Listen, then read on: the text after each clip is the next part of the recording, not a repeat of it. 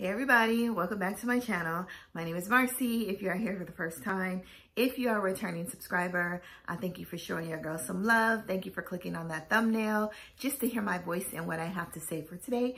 And hopefully you can enjoy the fragrance as well, or maybe even purchase. Please like, comment, subscribe, turn on those notification bells so that every time I do upload a video, you'll be the first one to give me your feedback, recommendations, or, you know, just even say hello. Also follow me on Instagram. It's Marcemellow, M-A-R-C-E-M-E-L-L-0-W. You already know we have fun over there. We do a lot of lives, reels. You know, look at my travel highlights. Let that be your source of inspiration for your next travel destination. You know, just come on over to Instagram and, you know, just have a little bit of fun. Let's share and get to know one another. Anyway, so for today, we're going to be discussing one of my I've been wanting this fragrance for a long time and I just never pulled the trigger up until maybe about a month ago. And I heard it was like a really amazing gourmand. Um, I do love a great lemon note. And I just, I mean, who doesn't love a good gourmand? Anything that smells sweet, creamy, succulent, you know, anything that smells and tastes like cake, okay?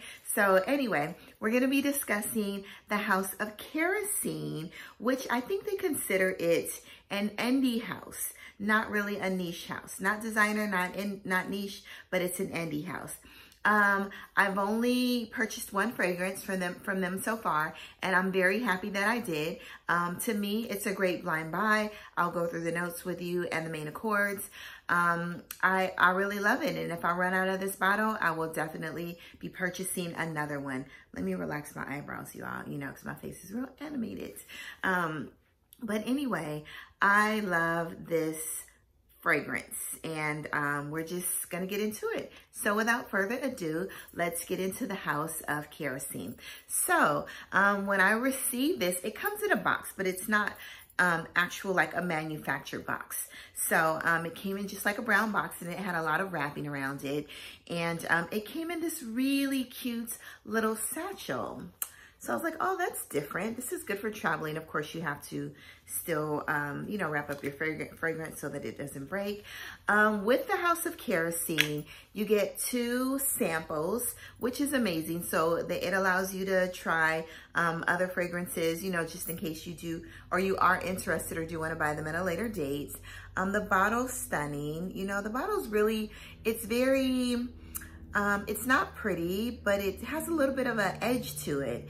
And I like that because I think we all have a little bit of an edge to us, you know, uh, if you know what I mean. So anyway, um, let's just get into some information about the owner of the fragrance.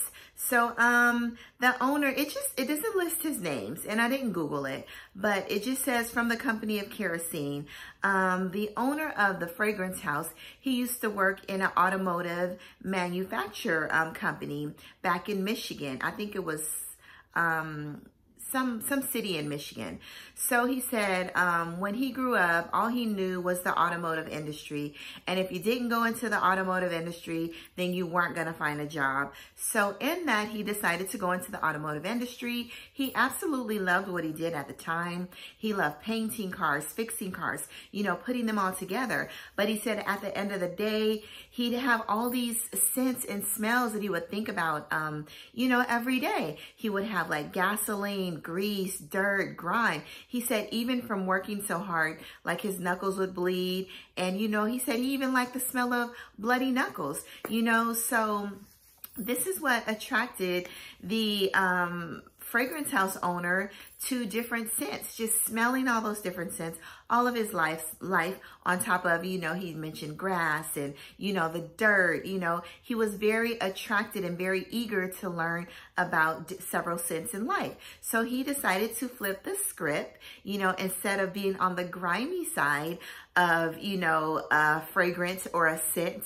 he decided to, you know, switch his life up and go into more delectable, more um, sweet smelling, more fragrant, appealing smelling scents. Um, and, you know, leave the dusty and the dirtiness behind. So anyway, but he did mention that he did love his job and it helped him to get where he is today. So anyway, that's a little background on the House of Kerosene. Um, there are a couple of other ones that I want to try. Um, one is called Dirty Flower Factory. all of the scent names kind of, um, it gives you kind of a history and a background as to where he came from. Um, even the bottles, they do paint the bottles with a high quality automotive paint, you know, and he says it just um, reminds him of a Ford finish, you know, on the actual old Ford car. So you can appreciate that when people put a lot of thought, process into what they want their bottles to look like. You know, this is a plaque, a metal plaque, you know, as if it's a license plate on the bottle. You know, I can appreciate all of that. Their inspiration. You know, there's always a story behind most fragrances, um, especially when they're niche fragrances. And it just gives you an insight into the heart of the person behind making the perfume. And I can totally appreciate Anyway, perfumery is a work of art and you have to appreciate it. So let's get into um, the notes. So this is Unknown Pleasure and I think this is one of the more uh, popular scents by um, uh, Kerosene. And in this there's Earl Grey tea, there's lemon, bergamot, there's honey, tonka bean, caramel, vanilla, and waffle cone. This is a, an amazing this is like the only lemon gourmand fragrance I will ever need. It's zingy, it's creamy, it's sweet.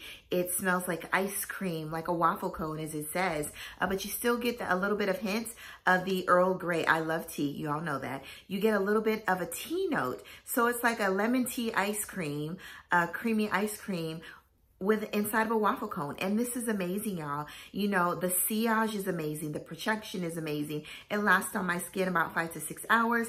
On my clothes, it lasts about eight hours. I absolutely love this stuff. This is good. And like I said, I will be repurchasing this again. So let's go ahead and get into the, um, the atomizer. I love it. It's, it's, it's good. I'm always looking for like a good lemon creamy, ice creamy gourmand. This, you all, you all, this is the best lemon scent, lemon creamy gourmand I've ever had. Dare I say, and I will say, this is better than Lira Xerjoff. You know, we pay a lot of money for Lira Xerjoff, but I love this one. You get more of the, like the projection on this is amazing. This right here, if you want, this is what I expected out of Xerjoff, you all. So, Unknown Pleasures, Kerosene, you're amazing. I love this stuff. It's very addicting. You know, the, the bursts of fresh lemon zest that you get on top of like ice cream and a waffle cone uh, with a little bit of like Earl Grey tea. This is, this stuff is stunning. I would say this is, this will probably be in my top 10 for life. Yeah, this is a great, um, gourmand. I love it. And it makes me more interested in trying more from the house. So let's get into another one. Um, this one, they give you two samples. Now, I chose Sweetly Unknown. Um, they're really just cute little samples and you could probably pour them a couple times. So we're going to get into Sweetly Unknown first. Now this is considered like, uh, they said if this is, it, it's as if you've walked into a confectionery lab full of like sweet spices. So this has cardamom, cacao, sugar, caramel, vanilla, and musk. Uh, when I read the notes on this, I was like, this smells delicious. So let's go ahead and, I do like it. Put a little more so I can get a real good whiff. I like it. I like it a lot. It's rarely, it's not, I thought it would be a little more strong, the cardamom, but um, let me go ahead and put it on my finger because I, I kind of really want to smell it. So, and this is Sweetly Known. I like it. It smells like it has a little bit of a, a, a, a tinge of like a coffee hint in here but it could just be the cacao, the sugar, the burnt sugar, the caramel, the vanilla, and the musk.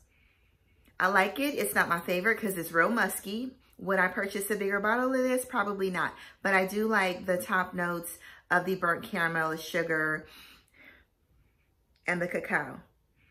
It leans a little more masculine to me. So I probably not would not purchase I'm Sweetly Unknown.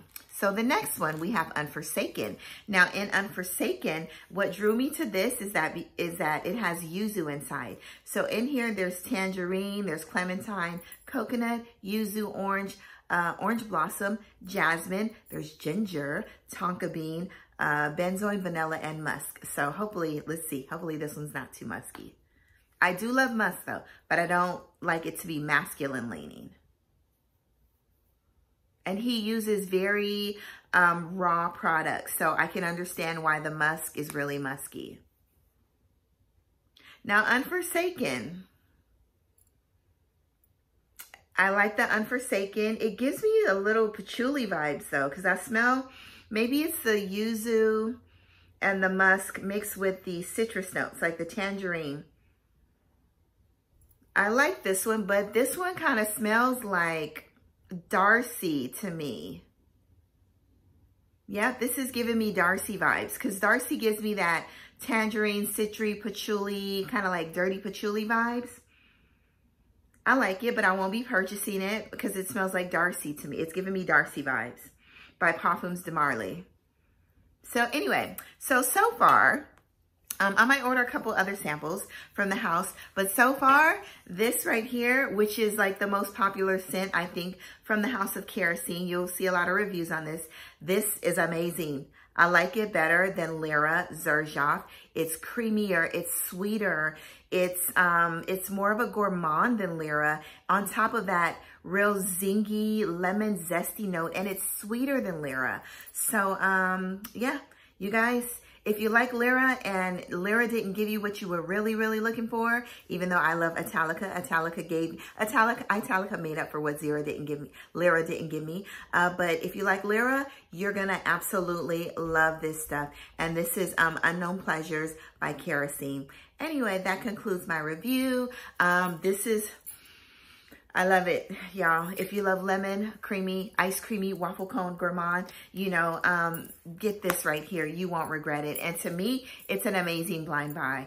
Um, thank you all for watching my review. This was just a really short review on the House of Kerosene, Unknown Pleasures.